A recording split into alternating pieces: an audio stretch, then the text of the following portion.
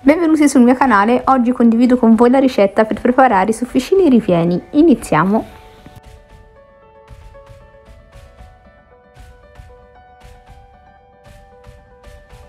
Per preparare questa ricetta ci servono 100 ml di latte, 200 g di farina 00, 20 g di burro, un cucchiaino piccolo di sale, del pan grattato e un uovo diluito con un po' di latte e sbattuto.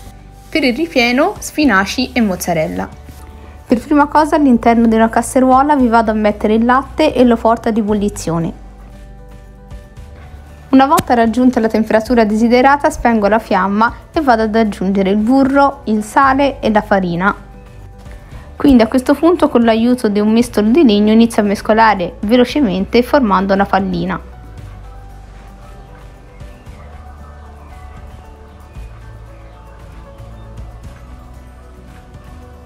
Formatosi l'impasto lo vado a prendere con le mani e lo metto all'interno della pellicola e lo lascio riposare finché non si sfredda del tutto. Una volta sfreddato l'impasto lo vado a lavorare su un piano di lavoro cosparso di farina.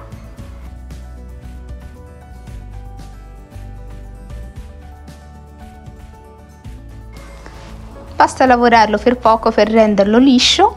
A questi punti formo la pallina e la vado a stendere.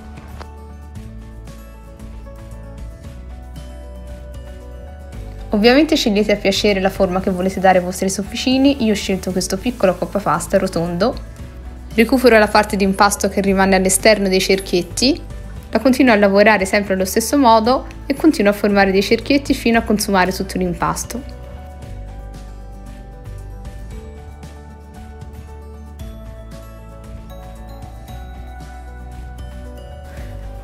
Adesso si procede con il ripieno dei sofficini mettendo pochissimi spinaci e poca mozzarella e chiudendo con un altro dischetto in questo modo.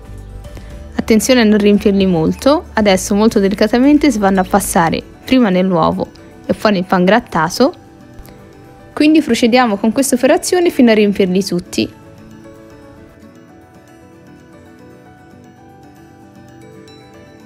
Finiti di chiudere ed infanare li andiamo a friggere Due cose importanti, l'olio deve essere molto caldo e i sofficini non devono cuocere tanto, basta veramente 30-40 secondi. Il risultato finale, credetemi, è strepitoso, sono veramente croccanti e buonissimi. E soprattutto potete sbizzarrirvi sul ripieno. Se questa ricetta vi è piaciuta vi invito ad iscrivervi al mio canale cliccando sul campanellino per rimanere sempre aggiornati.